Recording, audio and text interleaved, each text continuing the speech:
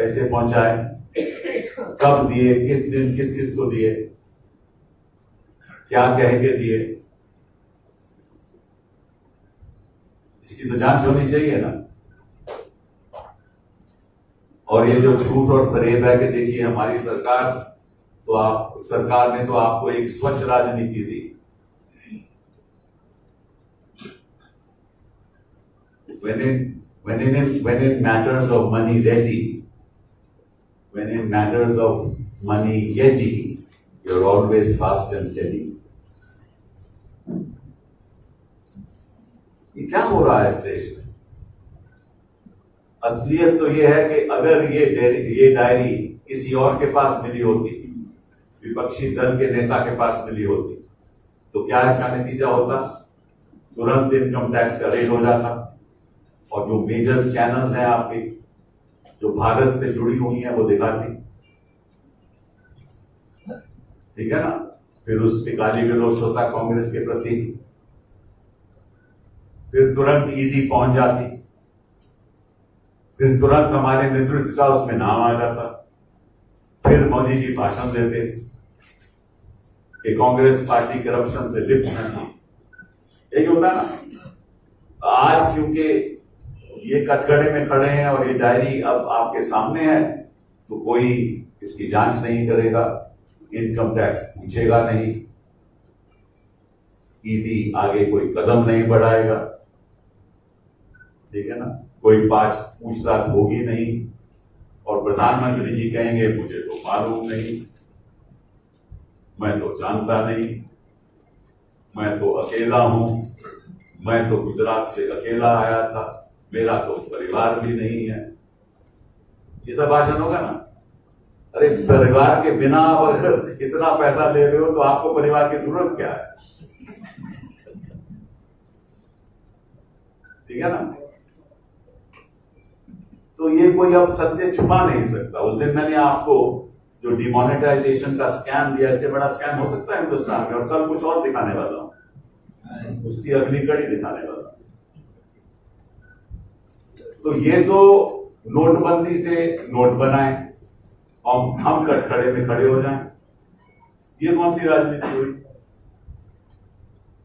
करोड़ों रुपए ये बनाते हैं, और हम दिखाते हैं। और आज इनको कोई सवाल नहीं पूछेगा।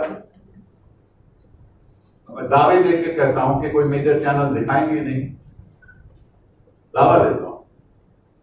कोई हिम्मत नहीं है। टेलीफोन आ जाएगा। कि दिखा कैसे रहे हो? और यही सब लोग आज चुनाव में खड़े हुए हैं। प्रधानमंत्री जी खुद खड़े हुए हैं। तो हम चाहते हैं कि पहले तो प्रधानमंत्री जी इसके बारे में पब्लिकली बताएँ कि ये सच है या नहीं? और अगर नहीं है तो तुरंत येडियूरप्पा जी को अरेस्ट करना चाहिए। और वो फिर बताएँगे कि सच है, और अगर है सच तो क्या सच है? साथ साथ में इनकम टैक्स के अधिकारी तुरंत इन मंत्रियों के पास जाएँ और उनसे पूछें। कि पहले जब हम आपके पास आए थे तो आपने जवाब नहीं दिया था, अब तो जवाब दे दीजिए, अब तो ये डायरी आपके सामने है। और अगर ऐसा नहीं होता तो हम ये सोचेंगे कि इनकम टैक्स डिपार्टमेंट इनकी तरफदारी कर रहा है। और ईडी को भी फिर पहुँचना चाहिए। और काले धन का जो मनी ट्रेल है, इस काले धन का मनी ट्रेल है